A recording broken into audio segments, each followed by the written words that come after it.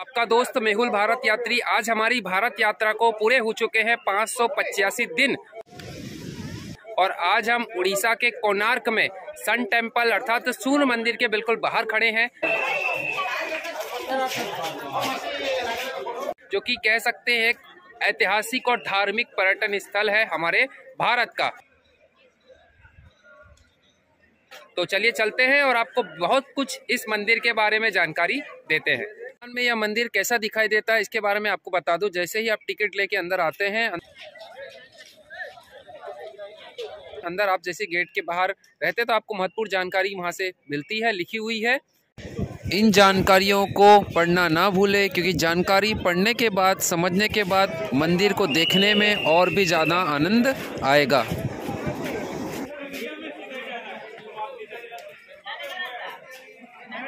जिस भाषा भी में आप पढ़ सकते, समझ सकते, फिर जैसे ही आप जैसे अंतर एंटर आते हैं, वैसे भी यहाँ पर भी अनेक भाषाओं में जानकारी दी गई है। यहाँ की लोकल भाषा है, अंग्रेज़ी और हिंदी है।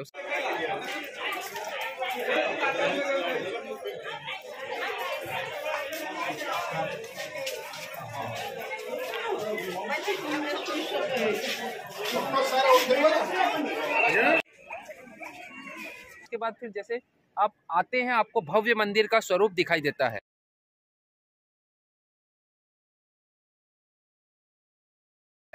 सबसे पहले आप देखेंगे तो हाथी के ऊपर सिंह के जो द्वार जो यहाँ पर उड़ीसा का जो एक प्रमुख मैंने देखा है कि हर जगह पर जो मंदिर या ऐसे स्थानों पर जाओगे तो सिंह की या फिर हाथी की मूर्ति रहती है वैसे यहाँ पर भी है। लेकिन दो मूर्ति एक साथ में पर आप देखेंगे तो हाथी और सिंह हाथी के ऊपर सिंह उसकी मूर्ति फिर जैसे आप ऊपर चढ़ेंगे तो बहुत सुंदर बहुत ही शानदार एक आ, मंडप है जो कि चार चार के जो पिल्लर है उसमें बना हुआ देखिए, इस प्रकार से चार चार पिल्लर बने हुए ऐसे चार चार आठ, चार बारह और चार सोलह, ऐसे सोलह पिल्लर बने हुए बिल्कुल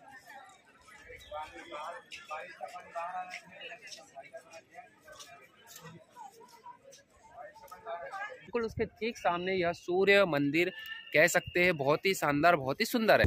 वैसे तो दोस्तों, यहाँ की हर चीज़ बहुत ही सुंदर, बहुत ही अच्छी है, लेकिन जैसे ही पिल्लरों को निहारने के बाद हम आगे बढ़ते हैं तो हमको भव्य सूर्य मंदिर की, मंदिर का भाग दिखाई देता है।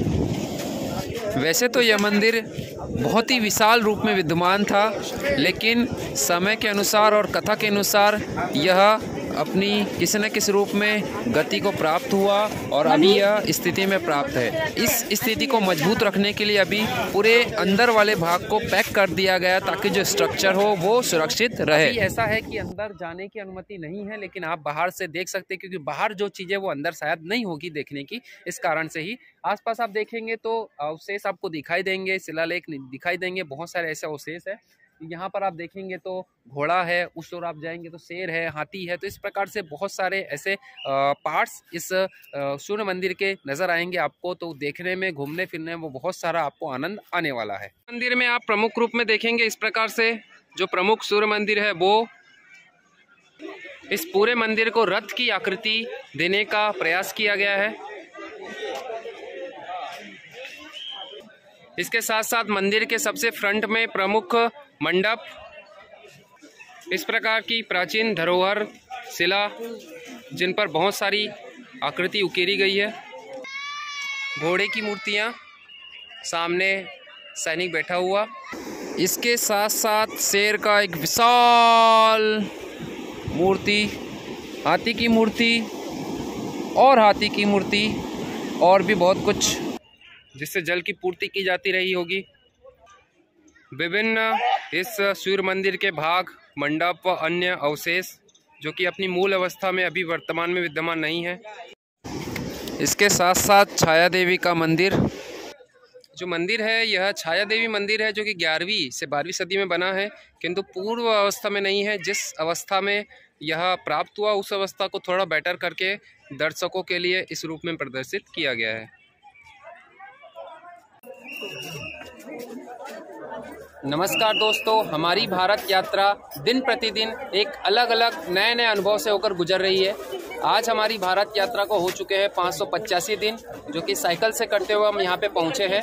उसके साथ साथ आज हमारी भारत यात्रा में बत्तीस हज़ार तीन सौ पचास किलोमीटर पूरे हुए और अभी हम जिस स्थान पर बैठे हुए हैं, यह कोनार्क का बंदरगाह पूर्व में था और यहीं पर जो गंग राजा हुए हैं, प्रथम नरसिंह देव उन्होंने सूर्य भगवान अर्थात अर्क की मूर्ति की स्थापना के लिए यहाँ पर भव्य सूर्य मंदिर की स्थापना की, जिसमें बारह जोड़ी जो घोड़े हैं वो जुते हुए जिसमें से सात जो घोड़े हैं वो प्रमुख रूप में दिखाई देते हैं।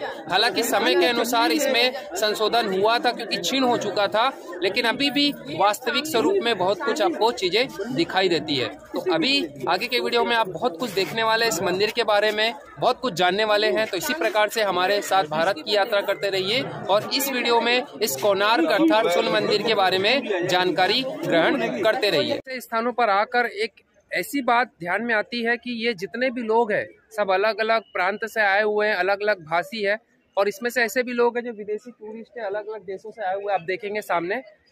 इनको भाषाएँ अगर हम आपस में बात करेंगे तो हमें दिक्कतें होगी, लेकिन वे भारतीय संस्कृति को जानने के इतने इच्छुक है कि किसी न किसी रूप में वो हमारी संस्कृति को हमारे रूप में ही जानने के लिए आए हैं। तो ये सब चीज़ें हमें जोड़ के रखती है, हमें राष्ट्रीयता का जो हमारा घोतक है, अनेकता में एकता उसको हमें प्रदर्शित करती है। दोस्तों, हज़ारों लाखों की संख्या में इस प्रकार से ऐतिहासिक स्थानों पर, पर्यटन स्थलों पर, मंदिरों पर अलग अलग राज्यों से अलग अलग देशों से लोग निरंतर आते रहते हैं। इस कारण से ही हमारी ये कह सकते हैं, अनेकता में एकता की जो शक्ति है, ऐसे स्थानों में देखने को मिलती है। क्योंकि ये सभी के भले विचार अलग रहे हो, राज्य से अलग से आए हो, भाषा अलग बोलते हो अलग अलग देशों से आए हो, लेकिन इनका मकसद यही है कि ये हमारे भारतीय कल्चर को, हमारे भारतीय इतिहास को जानने के बहुत ही ज़्यादा इच्छुक है। और जो हमारे देशवासी है, उनको हमारे देश के प्रति निष्ठा है बहुत ही प्रेम है इस कारण से वे समय समय पर जब भी समय मिलता है, ऐसे स्थानों पर आते हैं और अपनी राष्ट्रीयता का परिचय देते हैं और हमारे जो गौरवशाली इतिहास है, उसको जानने की भरसक कोशिश करते हैं। कल से भारत की यात्रा करने में चूँकि पाँच दिन हो चुके हैं, एक नहीं, एक हज़ार से ज़्यादा समस्याओं का सामना करना पड़ता है। लेकिन जिस प्रकार से अगर आप वास्तविक रूप में भारत की यात्रा करेंगे तो आपको जो लोगों का प्रेम, स्नेह और आशीर्वाद मिलता है तो आप में इतनी ऊर्जा आ जाती, इतनी शक्ति आ जाती, इतनी एनर्जी आ जाती है तो आप एक हज़ार नहीं, एक लाख, एक करोड़ परेशानियों का सामना हँसते हँसते कर सकते हैं। तो दोस्तों, कुछ डिसएडवांटेज के साथ साथ बहुत सारे एडवांटेज भी है, क्योंकि बहुत सारे लोगों का प्रेम, स्नेह और आशीर्वाद मिलता है। उसके साथ साथ इस प्रकार के स्थानों पर अगर आप वास्तविक वास्तविक रूप में करते हैं तो आपकी यात्रा को और उद्देश्य को जानकर हो सकता है कि ऐसे स्थानों पर आपसे टिकट ना ले और बहुत सारी सुविधाएँ इसके साथ साथ में आपको मिले। तो दोस्तों, आपसे यही आशा करेंगे कि आपको इस वीडियो को ज़्यादा ज़्यादा पसंद करेंगे लाइक करेंगे कमेंट करेंगे और ज़्यादा ज़्यादा लोगों तक शेयर करेंगे ताकि हमारा जो ये प्रयास है, उसके साथ साथ जो भारत की यात्रा हम कर रहे हैं, भारत का जो अनुभव है, आप लोगों के साथ में किसी न किसी परिस्थिति में साझा करने की कोशिश करते हैं। चाहे हम कितनी भी तकलीफ़ में क्यों ना हो, क्योंकि भारत की यात्रा साइकिल से करने में अनेक दिक्कतों का सामना करना पड़ता है। लेकिन उसके बावजूद आपसे हम अनुभव शेयर करते हैं तो आशा यही करेंगे कि हमारे इस वीडियो को और बाकी सब वीडियो को आप ज़्यादा ज़्यादा लोगों तक पहुँचाएँगे, शेयर करेंगे, सब्सक्राइब करेंगे।